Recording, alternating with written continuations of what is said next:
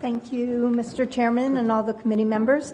So I too am just an everyday citizen that came up here, and I've learned a lot and heard a lot of heartache and all kinds of things. I'm old enough to have grown up before Roe versus Wade. I actually brought my knitting, but it was too hot in here to knit, and um, I'm a big knitter. And when I was in college, someone asked me if they could borrow my knitting needles. I'm like, wow, that's really great. Do you want me to teach you? No, she was going to give herself an abortion because she didn't have the money or any way to figure out how to get to a doctor or to do something safe. That was my first experience. Um, so I am in complete support of H7444.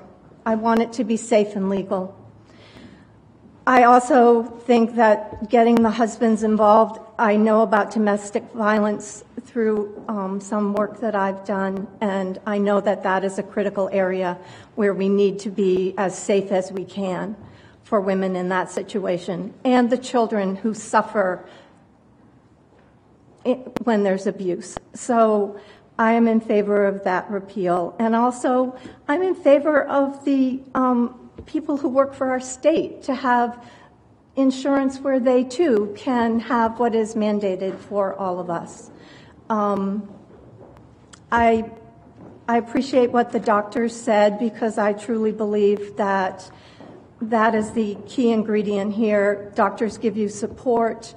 For the women who didn't get the, the additional counseling, the support that they needed after they did experience an abortion, my heart aches for them and for all of the pain they've suffered. I know people who have had abortions, who have had the counseling, who have gone on to lead productive lives in terms of being able to do other things. I have friends who didn't have an abortion, gave up their children, and now those children are trying to find them on Facebook or whatever. So it's a complicated situation, but I think we need to be safe, we need to be legal, and to care enough to, to take that hard stand.